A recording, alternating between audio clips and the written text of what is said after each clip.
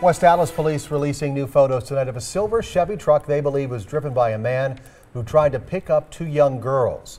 Police say he followed those girls yesterday on Greenfield Avenue. He pulled up next to them, told them to get in.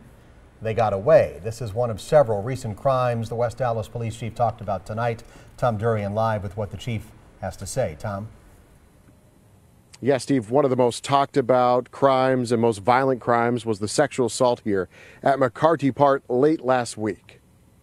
And I like to come here because I like to understand the bigger scope. Is it all of a sudden exploding with crime, or are we just hearing more about it because of social media? Tanya Gross lives just blocks from McCarty Park, where law enforcement say a man jumped from the bushes and assaulted a woman before she was able to fight him off and run for help. Just wanted to get some sense of what the chief was feeling in terms of um, safety there.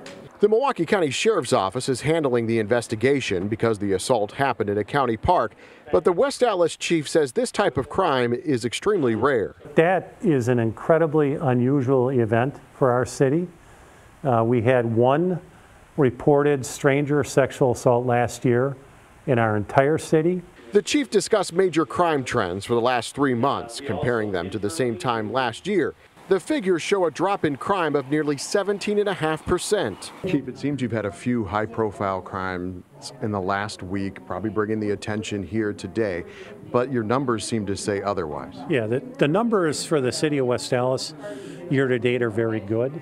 The chief also pointed out much of the crime in the city is not random. The norm in West Allis is not stranger on stranger crime.